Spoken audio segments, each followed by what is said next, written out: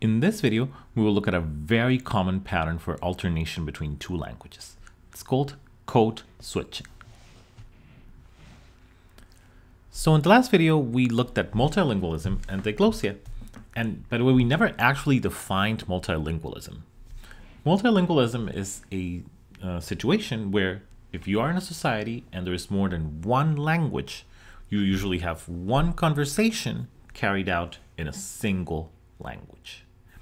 So if you go to um, Canada, for example, and you live in an English speaking part of the country, you'll find that most conversations are just going to be all English all the way. And if you're in Quebec, you're going to find that most conversations are all French all the way. Diglossia is a situation where you have more than one language in society, and there is already a societal consensus for which types of conversations which go in, in which language. So formal conversations should go in modern standard Arabic in the Arabic speaking world. And informal conversations should be carried out in the colloquial varieties for each of the regions. For example, modern standard Arabic for formal conversations and Egyptian colloquial Arabic for informal conversations. So these are multilingualism and diglossia. Code switching is a situation where you can have one conversation and within this, this conversation, you uh, use more than one language. So you go from one language to the other to the other throughout the conversation.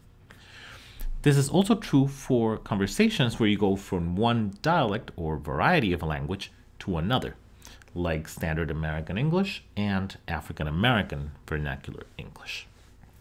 So code switching is a type of alternation between languages or varieties of a language where you see more than one language within a single conversation. And the switch usually happens across sentences or within clause boundaries, as we'll see in a moment. So, one very famous case of code switching is Hinglish, which is a combination of Hindi and English in India.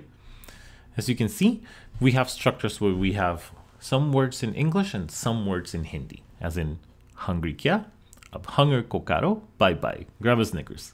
So ab hunger kokaro means is hunger here now? We also have uh, advertisement for Virgin. Think hatke, think differently. And Domino's, hungry kya? Hungry question. So as you can see, some part of the sentence is in English and some part of the sentence is in Hindi. There is a very common type of code switching in the in North America called Spanglish, which is the combination of English and Spanish. As you can see, they can be combined within a single sentence, as in, as Little Red Riding Hood is walking along the forest, se encuentra con un lobo. She runs into a wolf. So, how does the switch work? The switch is incredibly precise. These are not just two languages badly mixed together. If anything, there's a lot of structure going on in how they mix. Remember in week five when we studied constituents, which are the subparts of a sentence? So you had constituents like noun phrases, verb phrases, inflectional phrases, so that you can see that this sentence is switches from English to Spanish at the edge between a complement phrase, a CP, and then inflectional phrase, an IP. So the CP in English, as Little Red Riding Hood is walking along the forest, is the description of how the verb happens. So all this fits in a single CP, and then you start an IP, an inflected phrase. She runs into a wolf. So in Spanglish, you usually switch between languages at the edge of constituents. So I mean, uh, think for a moment about the consequences of all of this. People think of, of languages like like Spanglish as if they were just you know a haphazard mix of the languages, like they there's no sense or structure to them. When what's actually happening is that they probably have more structure and more rules than English or Spanish alone. You have to know when the edges of the constituents are to make the switch there. And if you switch at somewhere in the middle of a constituent, that's ungrammatical. That is not correct Spanglish.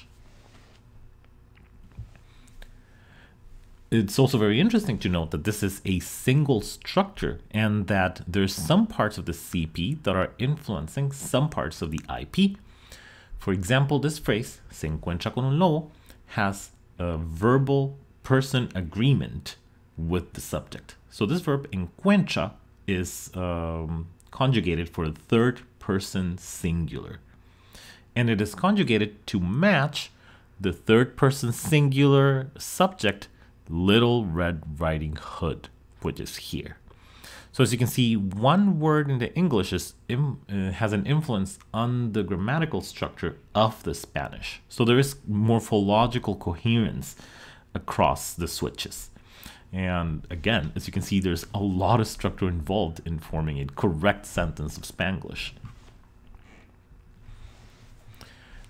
It's the same case when code switching between two varieties of a single language, like Standard American English and African American Vernacular English, or AAVE. Here we can see some of the defining features for African American Vernacular English. For example, in 2 o'clock, they wasn't back. As you can see, we have they wasn't, not they weren't, as in the standard. This change, uh, where you only have one, where you don't have number agreement, where this verb is just for the singular and it matches they, is extremely common throughout the world. And it is, and as a matter of fact, extremely common in Germanic languages. This is the exact same way that Swedish verbs work, where you only have one form, regardless of whether the subject is singular or plural. So you see this in AAVE. You also see um, you also see it in this phrase, they was supposed to take the bus, where you only have the verb that doesn't match in number because many languages don't do this. Here we have we just walking around. Here we don't have the verb to be. In standard American English, this would be we were just walking around. This copula here has become a zero copula, which is, as we saw a couple of weeks ago, the same thing you'd see in Russian, in Arabic, in Indonesian, and so forth. So we have a zero copula, and we have the merger of a sound, the um, the engma, the velar n, with the alveolar one, n, walking and this is a process that is that is extremely common in English of the United States and in much of uh, many southern dialects of English. This is also the way that the n is expressed. So we know that the speaker is going back and forth between varieties because we see these markers. But notice that it's also happening at the edges of constituents. So at about uh, 2 o'clock. About 2 o'clock is the edge between a prepositional phrase and a noun phrase. And this is where the switch happened. Then you have this phrase, two o'clock, they wasn't back, which is a, a, a whole inflected phrase. And then it switches onto a different inflectional phrase. You know one o'clock. Period. So from one inflected phrase to the other. And then also here from one IP to the other. So again, when you uh, when when people use code switching there's a lot of structure involved probably more so than if they were just speaking english or spanish or one variety of english or the other so all of these are very precise processes why do people code switch this is going to be a central idea of the class for the next three weeks people uh, do a lot of their verbal behavior because they want to affirm belonging to some human group. They want to be in group with the people they're talking to. You are going to use um, some words with your family to assure them that you are their family, and you're going to speak in a certain way with your friends. Again, to assure them that you are their friends and to construct a mutual identity together. So, in our verbal decisions, we're always trying to build these bridges with the people we're communicating with and uh, building community with them. Is the same impulse that would make someone code switch. And let me just go back for a moment. In general, in every linguistic decision that you make as a human being, you are trying to project a persona to whoever you're talking to. And this persona would be someone that is, you know, a friend of your friends, uh, um, you know, family to your mother, and so forth. So we always make these decisions about how we want to project ourselves to the group of people we're talking to. If anything, we don't code switch to hide identities, but to celebrate them and to project them to people for them to know who we are. This is the reason why people use different mixes of languages. Maybe if you're a speaker of Spanglish, you will use all Spanish to communicate with your grandmother, and you would use all English to communicate in a government office. But then you would use different mixes of Spanish and English depending on who you're talking to. Maybe your friends use a certain ratio of Spanish and English. Maybe um, your colleagues who are slightly older than you use a slightly different mix. So with each of these uh, groups, you're going to use slightly different proportions of one or the other. That's why people code switch to project an identity. And this is a behavior that all humans do, whether they're monolingual or multilingual. And by the way, we'll study this much in depth, but unfortunately, many speakers of, of the languages involved in code switching have negative attitudes towards code switching. If you talk to someone who, who only speaks English or only speaks Spanish, they might tell you that Spanglish is like a mess, that Spanglish is like, you know, a bad form of these two.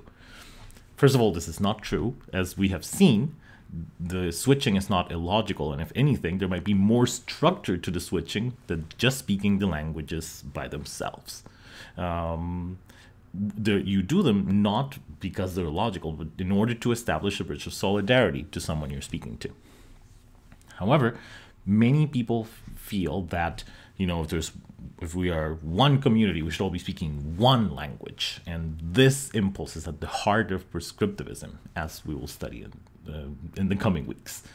This is, again, extremely unfortunate because they uh, make negative value judgments about code switching, which have no reason, as we've seen. Summary Code switching is a pattern where people alternate between two languages or two varieties of the same language, and they do so within a single conversation. This usually occurs at sentence edges or at constituent edges. And they do this to express belonging to a human group. Um, in the next video, we'll talk about Pidgin and Creole languages.